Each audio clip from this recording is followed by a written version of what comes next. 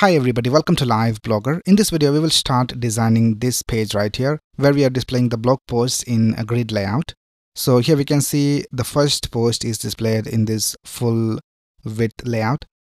And then we have two posts displayed in a row. And this is also responsive. So if I decrease the width of the browser window, here we can see that for tablet versions, we have two posts displayed in a row. And then if you go to the mobile version, here we can see that we have just one post displayed in a row. Alright, so let's get started.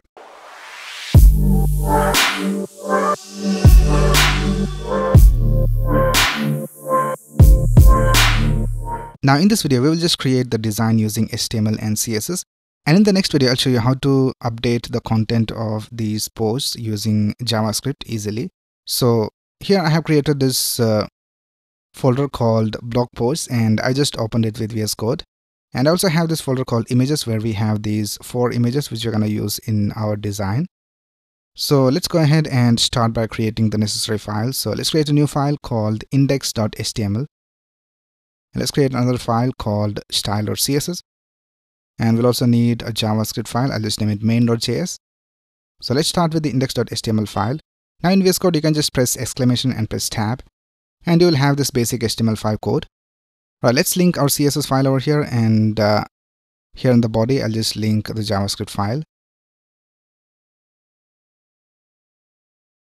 And now let's start with the markup of our design. So the first thing we will do is uh, we'll create a container division for all the blog posts. So let's create a container division and let's give it a class of blog posts container. And in that for each of the blog posts, I'll just create a division with the class of blog post. And in this we will have the thumbnail first of all. So for that let's create a division and let's give a class of thumbnail. And that we will have the image and in the source I'll just type images forward slash and I'll just add the first image over here. And then we can see that we have all this content on the right side and we'll add all of this content inside a separate division. So let's go outside this thumbnail division and let's create a division with the class of text content. And in that, the first thing we need to have is the label. So let's create a division with the class of label. And let's add the label over here. So I'll just type master class. And then we need to have the title. So let's copy this title from here. And uh, let's create an H3 for the title. And let's give it a class of post title. Let's paste the title over here. And then we need to have the summary. So I'll just copy this uh, summary from here. And let's create a division with the class of summary and I'll just paste the summary over here. And then lastly, we need to have this button for read more. So let's create an anchor tag for the button. And uh, here you can add the link of your post. I'll just add hash for now. And let's give it a class of read more button. And uh, in here, I'll just type read more. Right now, let's go ahead and copy this blog post uh, three more times. So let's copy this blog post division from here and let's paste it three more times over here. Right now let's start styling this. So first of all, let's open this in the browser and let's see how it looks. So I have this extension called live server installed in VS Code. So once you install that, you can just right click over here in the HTML file and click on open with live server. And now we can see that the design is being displayed over here. Right now let's go to our CSS file and let's start styling this. So first of all, let's target the container division, which is blog post container. So let's type blog posts container. Let's set a max width and let's set it to 800 pixels. And let's also bring it to the center. So I'll just type margin, zero, top and bottom, and auto for left and right. And uh, let's also set the display to grid. And now we need to have two items in a row. So let's type grid template columns. And uh, here you need to type 1fr 1fr which means there will be two columns with the same width. So now if you go back here we can see that we have two of these posts displayed side by side. But now let's also set the font. So we'll set the font to Rubik. So let's get the font link from Google Fonts. Alright so here I'm in fonts.google.com and uh, let's search for Rubik and let's select this font. And uh, we need to have the bold version and also the regular one. So let's select regular 400 and uh, let's also select the bold version which is uh, I think semi bold 600 so let's select this. And uh, let's go ahead and copy the link from here. Or you can also copy the link of the CSS so I'll just go to import and let's copy this from here and let's add this to our CSS so I'll just paste it at the beginning. And now let's go ahead and uh, set the font. So I'll just a font family and uh, let's set it to Rubik sans serif. We'll also add a gap between these elements. So we'll set a gap of 32 pixels between the blog post divisions. Right now the next thing we need to do is uh, we need to set the width and the height of this image so for that let's go ahead and target that. I'll just tap blog post container and uh, let's tap img and uh, let's set the width of the image to 100% of the parent. And now we can see we have the correct width for the image. Let's also set a specific height. So I'll just tap height and let's set it to 220 pixels. And we'll also set object fit to cover so that it has the correct aspect ratio. And let me just quickly go ahead and change the images so that we can have some variations so I'll just set this to 2.jpg and this to 3.jpg and this one to 4.jpg. Right now let's go ahead and style these blog post divisions. So here we can see we have these divisions with the class of blog post. So let's type blog post container blog post and uh, we will set the border radius to 16 pixels so that it has rounded corners and now we can see that the rounded corners are not added to these images. That's because uh, for the image we don't have the rounded corners. So for that you have to type overflow of hidden to the container division. And now we can see we have the rounded corners. Right now let's go ahead and add some box shadow. So I'll just type box shadow.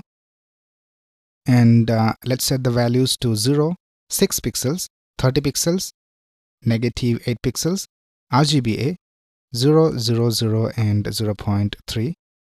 And now we can see we have this box shadow. Right now let's add some padding to this text content. So here we can see we have this division with a class of text content. So here let's type blog post container text content and let's set a padding of 16 pixels. Right now let's style these labels. So for the labels, we have this division with a class of label. So let's start blog post container, label, and uh, let's set the font size to 13 pixels. And uh, let's set the text transform to uppercase. And we'll set the font weight to bold. And uh, let's also set the color of the text to 4C5 BFF Right now let's style these titles. So for the title we have this uh, H3 with a class of post title. So let's type blog post container h3.post title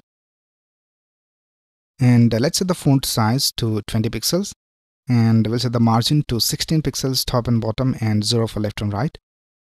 Right now let's style this summary. So for the summary we have this division with the class of summary So here let's tap blog post container, summary, and uh, let's set the line height to 1.8 and let's set the font size to 15 pixels. Right now let's style this read more button. So for the read more button we have this anchor tag with the class of read more btn. So let's type blog post container read more btn and uh, let's set the text transform to uppercase. And uh, we'll set the font size to 13 pixels.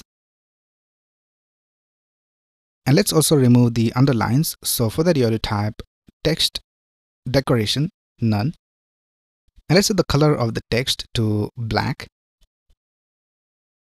and uh, let's add some margin so I'll just type margin 8 pixels top and bottom and uh, 0 for left and right.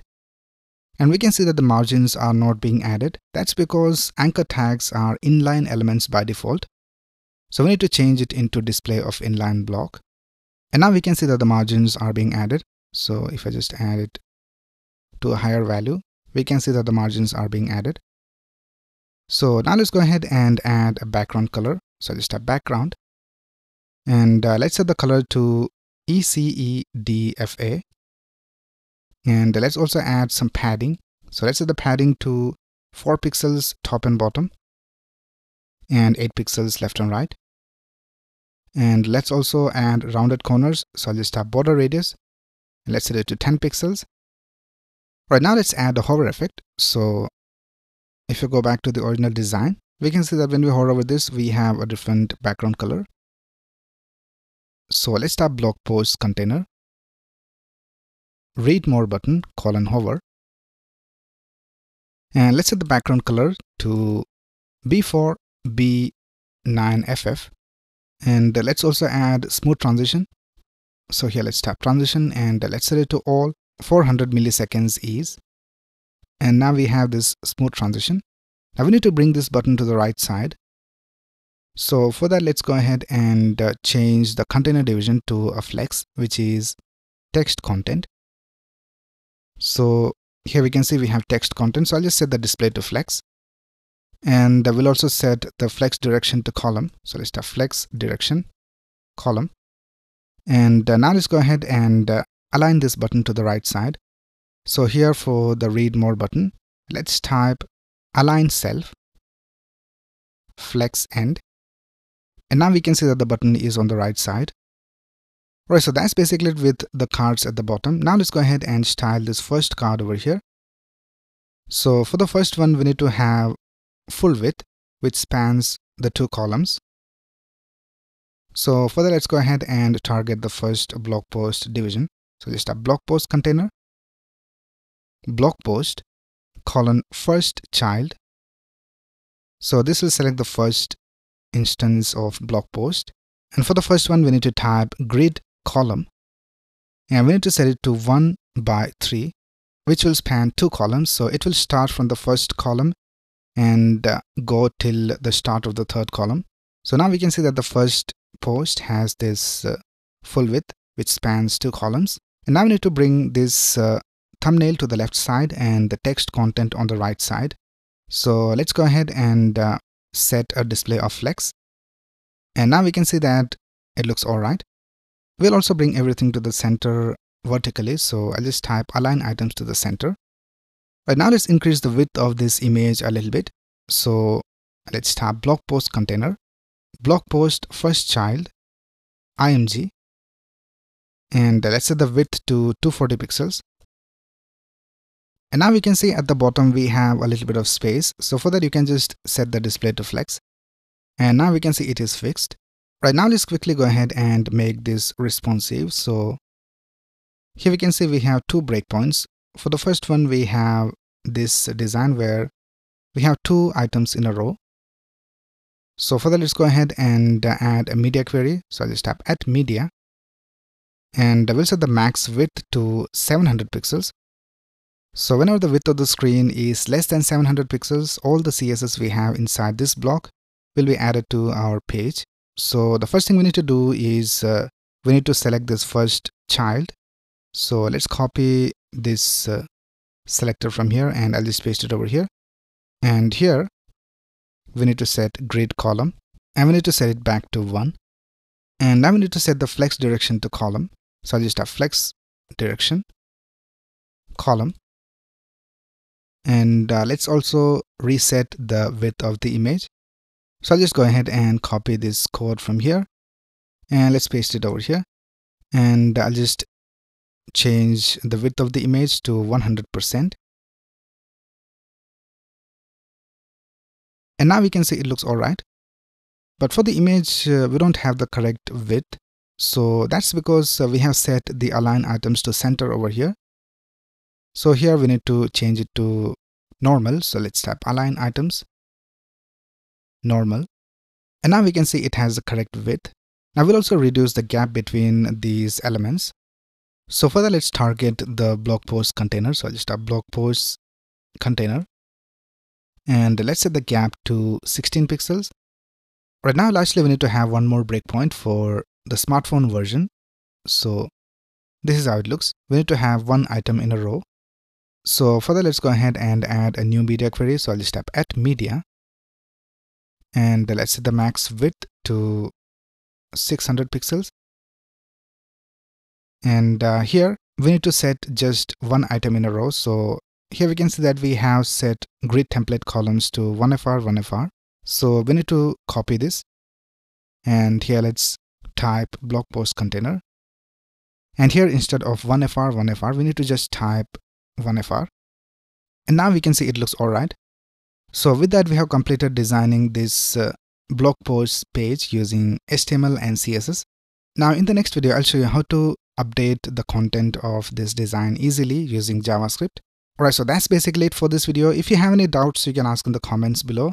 And if you like this video, please click on the like button and subscribe to this channel to get the latest video updates. Thanks a lot for watching. Have a nice day. Thank you.